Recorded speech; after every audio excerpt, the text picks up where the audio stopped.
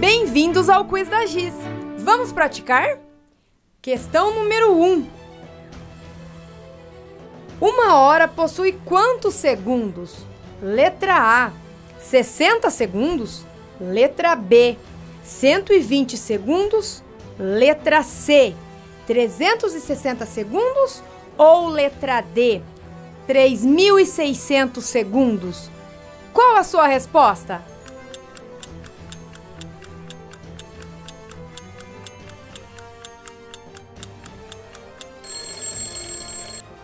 E a resposta correta é a letra D. Não deixe de conferir a resolução desta questão. Em uma hora tem 60 minutos.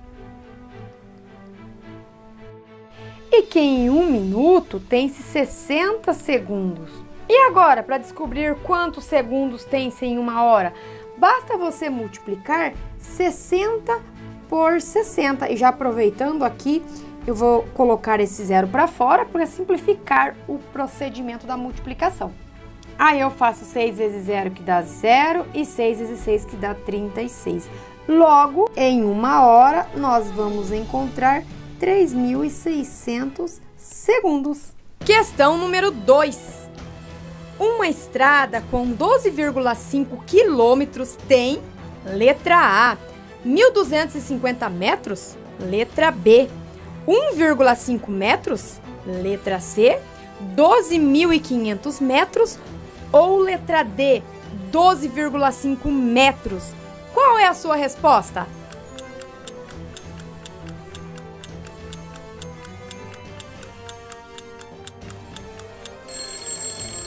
E a resposta correta é a letra C. Então vamos conferir a resolução?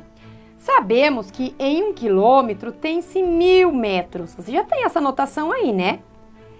Como que eu faço para descobrir quantos metros nós temos em 12,5 quilômetros? Aqui você pode fazer uma regrinha de 3 ou simplesmente multiplicar 12,5 por mil. Um outro jeito também de você pensar é na conversão das unidades de medidas, que nós temos quilômetro, hectômetro, decâmetro e metro. Aí a cada unidade de medida que você muda aqui, você vai fazendo a multiplicação por 10. Então, primeiro 12,5 vezes 10, depois vezes 10 novamente e vezes 10 novamente. Você vai encontrar a resposta em metros. Mas é bem mais fácil já multiplicar diretamente por mil. Então, você pode aqui, nesse caso, armar a continha, como eu sempre faço, coloco os zeros para fora. É um procedimento para simplificar o cálculo, tá? Aí 0, 0 e 0. 1 vezes 5, 5. 1 vezes 2, 2. 1 vezes 1, 1. Como aqui eu tenho uma casa decimal, eu coloco aqui uma casa decimal. Então, dessa forma, nós vamos encontrar que em 12,5 quilômetros, nós temos 12.500 metros, gente. Espero que você tenha entendido essa resolução. Questão número 3. 1,3 horas é igual a... Letra A, 1 hora e 30 minutos? Letra B, 130 minutos? Letra C, 1 hora e 18 minutos? Ou letra D, 130 segundos? Qual é a sua resposta?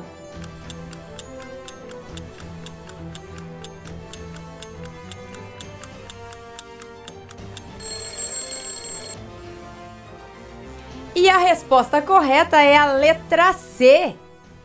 Vamos conferir a resolução desta questão. Como nós sabemos aqui, uma hora tem 60 minutos. Então você também deve ter essa marcação aí, que em uma hora tem 60 minutos. E em 1,3 horas tem-se quantos minutos? Você pode resolver como estratégia utilizando uma regra de 3 ou simplesmente você já multiplica 1,3 por 60. Aí, novamente, utilizando aquele recurso que simplifica a multiplicação, colocando zero fora, né? Daí abaixo. Aí eu faço 6 vezes 3, que dá 18, sobe 1. 6 vezes 1, 6, com aquele 1 que subiu, 7. Como aqui nós temos uma casa decimal, eu também coloco uma casa decimal no resultado. Logo, em 1,3 horas, que é diferente do que todo mundo pensa, né? Uma hora ou 3 minutos, uma hora e 30 minutos, nós temos que em 1,3 horas nós temos 78 minutos.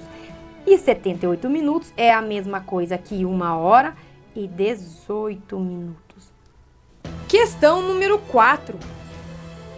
Um copo com capacidade de 0,3 litros tem, letra A, 30 mililitros, letra B, 3 mililitros, letra C, 3 mil mililitros ou letra D, 300 mililitros? Qual a sua resposta?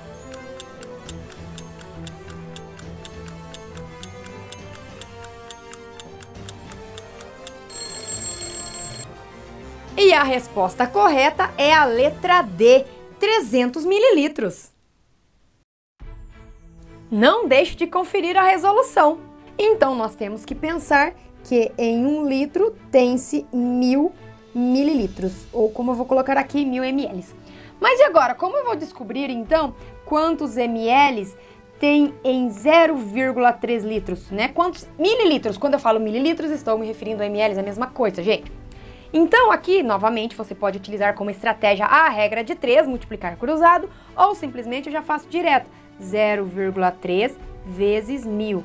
Ah, mas por que, que já multiplica direto por mil? Porque lembre-se da conversão das unidades de medida quando eu me refiro a medidas de capacidade. Eu tenho quilolitros, eu tenho hectolitros, eu tenho decalitro e litro. Da mesma forma que nós procedemos quando realizamos a conversão da unidade de medidas de comprimento. A cada uma que eu mudo, eu multiplico por 10, ó. Multiplico por 10, depois novamente por 10 e depois novamente por 10.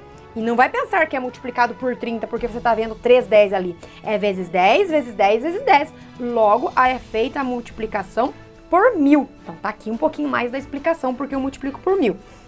Aqui, de novo, eu vou utilizar aquele recurso para simplificar. Abaixo esses três zeros e faço uma vezes 3, 3, uma vezes 0, 0.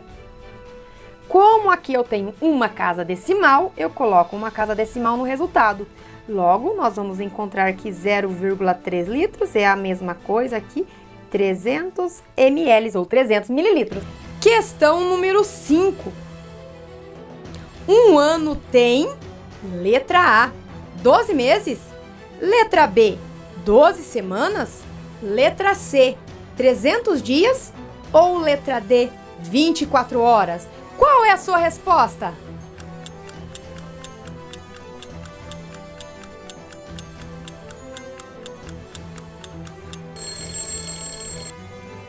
E a resposta correta é a letra A, 12 meses. E a resolução dessa questão é muito simples, né, gente? Um ano, um ano, ele tem então exatamente 12 meses. Olha que simples que era a resolução. Não precisa fazer conta nenhuma nessa questão. Questão número 6. Um metro cúbico tem, letra A, 10 litros.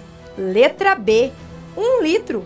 Letra C, 100 litros. Ou letra D, 1000 litros. Qual é a sua resposta?